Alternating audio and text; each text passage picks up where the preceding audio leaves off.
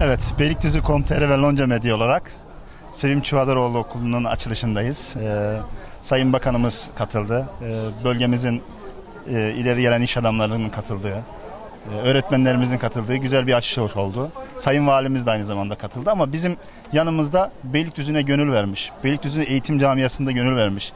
Kendisi de daha önce öğretmenlik de yapmış. Beylikdüzü'nün kurucu belediye başkanı Sayın Vehbi Orakçı ile beraberiz. Sayın Başkanım öncelikle e, nasıl neler hissettiniz? Nasıl bir duygu yaşadınız şu an? Evet ben Beylikdüzü'ne kazandırılan her okulda çocuklarımız ve geleceğimiz için e, aydınlık yarınların müjdesini görürüm.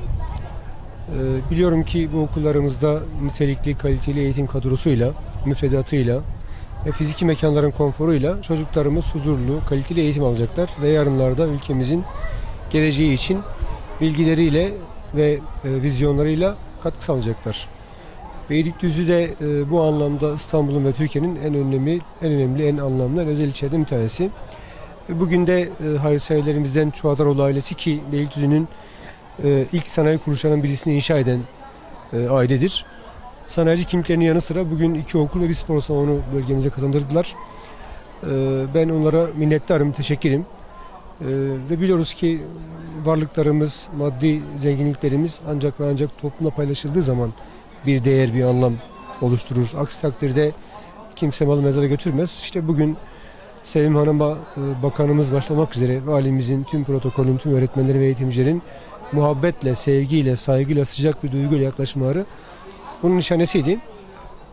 Ülkemizin hayırha insanları, hayırsever insanlarının bu tür eserlerinin e, sayısını arttırması hem kendileri için hem mensup oldukları aile ve camia için, kurum için e, takdire şayan bir durum. Ki biz de Beylikdüzü Kurucu, Kurucu Belediye Başkanlığı döneminde bu zihniyeti ve bu anlayışı sembolleştirdik.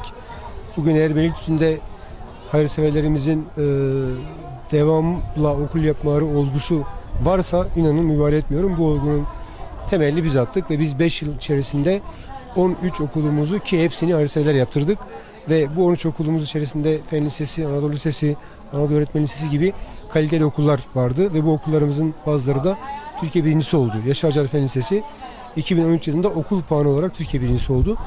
Yani eğitimle ilgili oluşturduğumuz akım hayırseverlerimizin eğitim camiasıyla birleşerek, bütünleşerek ve yerel yönetim kademesinin, belediyenin koordinasyonuyla yaptığı okulların devamının gelmesi bizi mutlu ediyor. Ben de ifade ettiğiniz gibi e, Eğitim Vakfı Başkanlığı yapan, e, daha önce öğretmenlik yapmış olan ve eğitim camiasının bir neferi bir hizmetkar olarak kendini konumlandırmış bir birey olarak bugün ülkem adına, Beylikdüzü adına ve Çuadar ise çok mutlu oldum.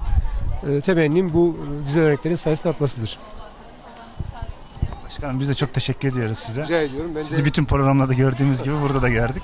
Lonca Medya'ya başarılar diliyorum. Siz de Beylikdüzü'müzün yerel dinamiklerini sanayisiyle, iş dünyasıyla, eğitim camiasıyla buluşturan, birleştiren bir konumdasınız. Ve biliyorum ki e, sizin gibi e, medya ağlarının da bu güzelliklerin e, yansıtılması konusunda misyonu çok değerli. Sizi de kutluyorum, başarılar diliyorum. Çok teşekkür ederim. Sağ olun.